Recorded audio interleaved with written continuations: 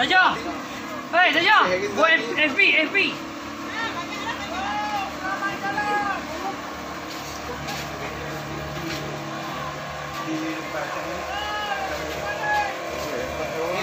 Mat, ambil gambar hantar minta mandi.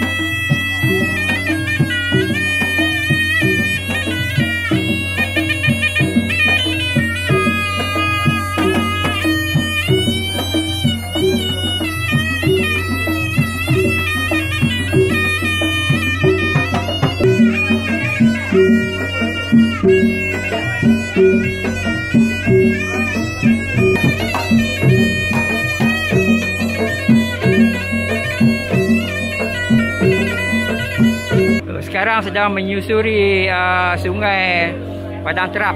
Eh, sungai Padang Terap ini mempunyai sejarah yang panjang kerana pada satu ketika dulu sungai ini adalah merupakan uh, saluran perhubungan dan juga merupakan laluan masuk Angkatan Perang Siam ketika menyerang Kedah sewaktu perang zaman musuh bisik dan di sepanjang sungai ini terdapat beberapa kota pertahanan yang dibina oleh pahlawan-pahlawan Melayu ketika itu antaranya ialah kota Mengkuang dan juga Bukit Kubu dalam daerah Padang Terap.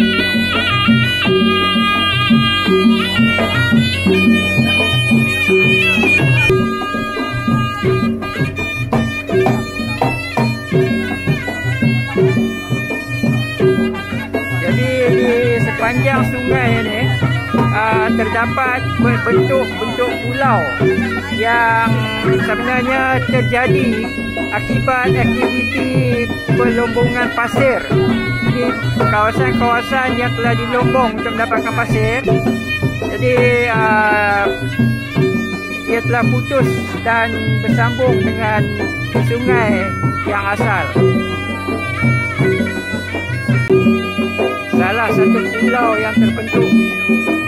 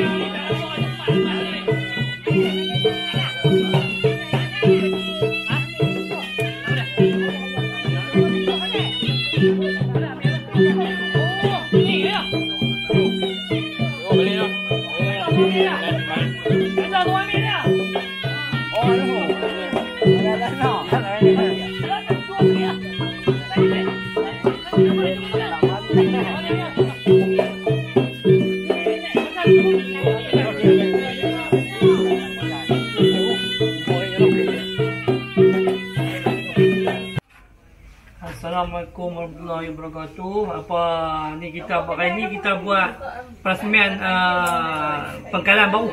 Pengkalan Masjid Wan Tupui. Uh, dan uh, river cruise kita ni baru siap, baru siap uh, Empayat Wan Tupui. Uh, kita sediakan trip untuk uh, menyusuri sungai Parantera, sungai Wan Tupui. Uh, package yang kita buat adalah menyusut uh, sungai Wan Tupui lebih kurang dua jam perjalanan kita di mana kita boleh kita boleh makan atas boat ha, kita boleh santai makan atas dan mesyuarat mesyuarat di atas boat ha, ni kita upgrade sikit lah boat ni daripada sebelum ni. Ha, dengan lebih lebih apa ciri, ciri keselamatan dengan lebih tinggi sikit. Ha, di mana boleh naik sampai 30 orang lebih Jadi kita boleh naik. Uh, package yang kita buat uh, selalunya tiga untuk 30 orang ke bawah kita buat uh, 250 Di 250 dan dan sehingga 300 mengikut uh, jok jalanan yang kita kita buat. Uh, setakat lah ni kita baru buat yang ni. Kita buat ada untuk naik safari pun kita buat. Yang malam yang dari mana hiking. Hiking ni kebanyakan yang main ni dia naik boat dia tidur di atas boat ni pagi tu dia naik. Naik bukit kita tunggu depa. Lepas tu kita kita kita ambil depa balik. Uh, di sungai Wan Tepui ni kebanyakannya uh, tebing-tebing sungai ni kebanyakan tak tak tercemar lagi lah tak tercemar dengan keadaan hutan semula jadi sungai ni uh, dia ada pokok-pokok yang kebanyakan yang yang kita tak boleh nampak tempat lain yang tak ada yang pokok sintu, pokok borek uh, dan banyak lagi pokok. Dan di mana di ketika petangnya kita akan jumpa dengan burung lah, burung-burung ni banyak. Burung-burung hijrah banyak. Di burung punai, uh, burung sayak. Di mana kita jaga juga lah burung ni. Kita tak bagi orang tembak lah untuk pelancong tengok. Dan uh, kebanyakan jenis hewan ayak ni macam bewak ayak apa-apa memang memang banyak lah di dalam sungai ni. Dan kita pula uh, sungai ni pula kaya dengan ikan. Ikan yang kebanyakan uh, ikan patin, ikan jelawat, ikan rohu uh, dan lampang. Di mana kita pernah minta uh, daripada perikanan uh, untuk uh, sumber makanan penduduk. Di mana depa lepas lebih kurang 30,000 lah. 30,000 ikan ikan lampang ni. Insya-Allah daripada masa depan kita akan buat JT ni sebagai tempat pengumpulan dan nelayan untuk dan pengumpulan ni ikan darat. Dan kita untuk upgrade ni ke depan insya-Allah kita akan buat chalet, terapung. Uh, kita akan buat pusat pendaratan ikan darat di mana orang boleh jual kat kita dan kita boleh beli. Seperti mana di Empangan Muda buat. Insya-Allah. Memancing kita ada untuk yang santai tidur atas ni pun ada dan ada kita ada lah speedboat.